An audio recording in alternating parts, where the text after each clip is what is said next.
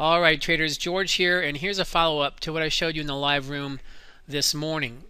One of the things that we've been working on is identifying key price points to trade in the afternoon. For day trading, the focus is on the morning with a specific setting for the model, right? And that setting typically will not translate well to the afternoon, and historically, the afternoons are not a good time to trade based on repeatable signals at work in the morning. It doesn't mean those same signals can't work in the afternoon. It's just that the number of trades that set up and the follow through is less likely. So moving to a higher period value or time frame and doing the type of analysis to identify the most important price point, well, that's what we've been working on. So what did we look at today? Oil 9180, right? Turns out I got a DSR to help me out with that on this chart here and just buying the breakout. I got in at 9191s Already knew we wanted to be long over 9180s, right?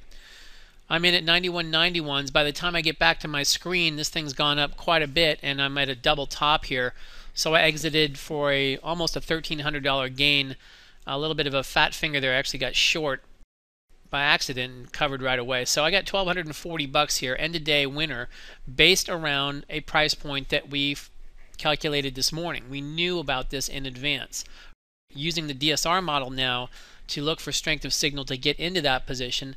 And there you have it. Now, for those of you that are DSR model owners, this is what it's all about. It's all visually derived, right? There's no news, no fundamentals, there's no other indicators or anything. It's just the same stuff over and over again and just being in position to follow through. So, huge belief building. We went through the exercise this morning. There you have it. North of 9180s, off we go.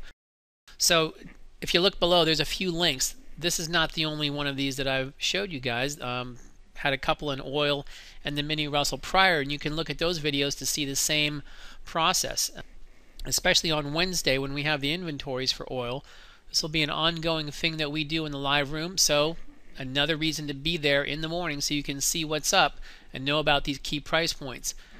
We'll see you back in the live room.